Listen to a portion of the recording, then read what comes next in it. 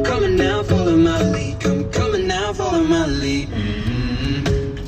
I'm in love with the shape of the weekend. We let the story begin. We're going out on our first date. Come on, be my baby. Come on, come on, be my baby. Come on, come on, be my baby. ישבנו כאן אה, מתחת לעץ לעשות פיקניק. כיוון שאכלנו הכל, לא נשאר לי מה לצלם לכם, אבל עשיתי סנדוויצ'ים עם סלט ביצים, ירקות חתוכים ואבוקדו, וזה היה מאוד מאוד טעים. וזה דבר טריק שלמדתי מתאיר אחותי, כשיוצאים צריך לעשות משהו עם תפוחי אדמה. אז עשיתי סלט ביצים עם תפוחי אדמה, כי זה מאוד משביע. ואז ככה אתם לא צריכים כאילו לחשוב, וואי, לאן אוכלים ואיפה אוכלים, ועוד מעט נאכל, וזה נותן לכם איזה ככה ארבע שעות של ככה איזה רגיעה, ואתם יכולים להיות פנויים, במיוחד שאתם עם ילדים, אה, לטייל וללכת ולבוא. ואחר כך אה, אפשר לתכנן ארוחת צהריים בכיף. לא, זה משהו, ככה זה משביע וכיפי. הנה אנחנו מסיימים, היית מברכת. אה, וזה הכל.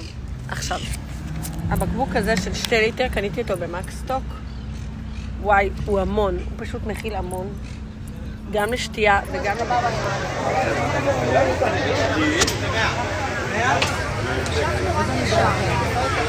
את השרשרת וזוג.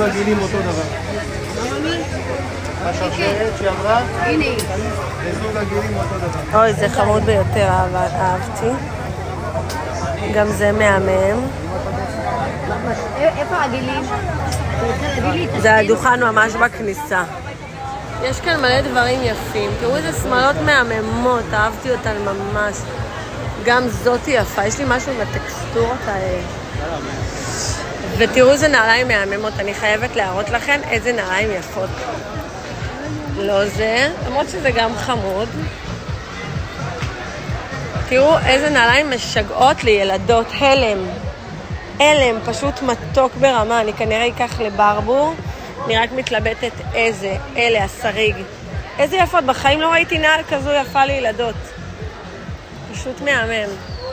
וזה עולה 50. בקיצור, יש כאן מלא מציאות מגניבות. שתיתי לשטוף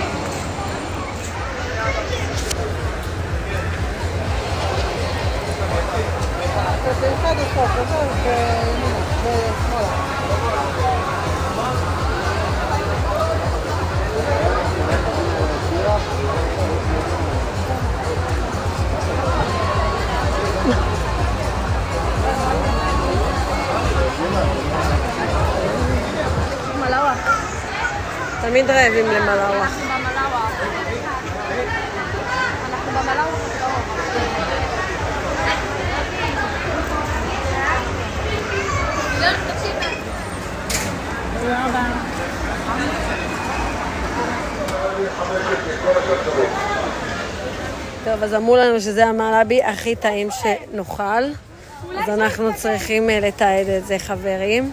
מצאנו את האיש שמוכר את המלאבי הכי טעים שיש, קיבלנו הודעה... של אלי מלאבי. של אלי מלאבי. ויש גם לבית. מה, אמרת שכאילו אפשר לקחת לשבת? כן, בטח. מגניב. אז אה, הנה, מי שרוצה להזמין חברים, זה הטלפון. בכל מקום אני. אלי מלאבי בכל מקום מגיע. גם אילת אני אגיע. יאללה, עד 120. שווה, מלאבי. אלי מלאבי. תודה. טוב, אז... חשבתי זה כוס ברד, הכוס ברד אצל תידם. לך תידם, מחזיק את בן. מה קרה לו? טוב, רגע, רגע.